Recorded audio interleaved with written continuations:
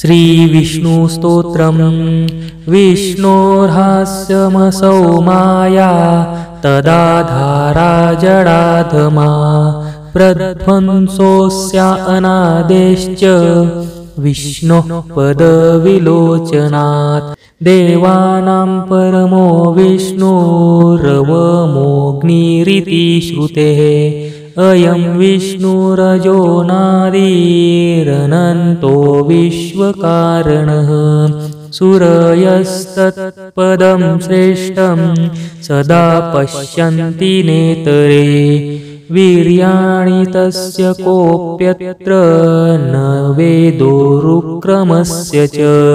प्रागुत्पाद्यविधिन्नाभेर्वेदान् दत्त्वा ततो जगत् उत्पादयत्यसावेव बुद्धिदीपो मुमुक्षुराट् भित्याप्यधिकृता यस्मा उद्वहन्ति बलिंसुरः मया या श्रन्त्यन्यदत्तं सम्राज्ञ इव भूमिपः।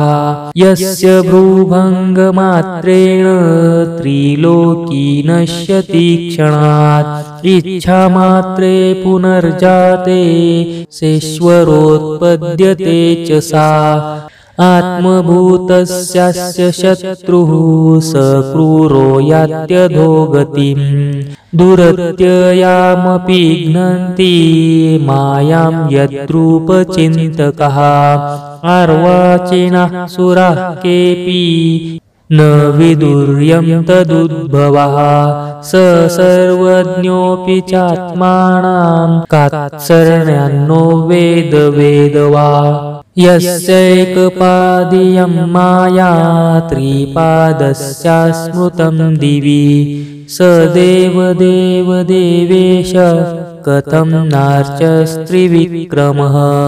श्रीवैष्णवैष गानेश शौर्यशक्त्यादिरूपधृ दत्तात्रेयोस्त्वजोऽनन्त सदा मे हृदि सद्गुरुः कृत्वैकदेशभकिन्त ये मात्सर्येण द्विषन्ति च अन्यदेव च तद्भक्तं ते यान्ति नरकं ध्रुवम् विष्णुः शिवो गणेशोर्क शक्तिश्चेति पृथड् न हि एकोजः पञ्चधा जात तो भेदोऽस्ति दैवतैः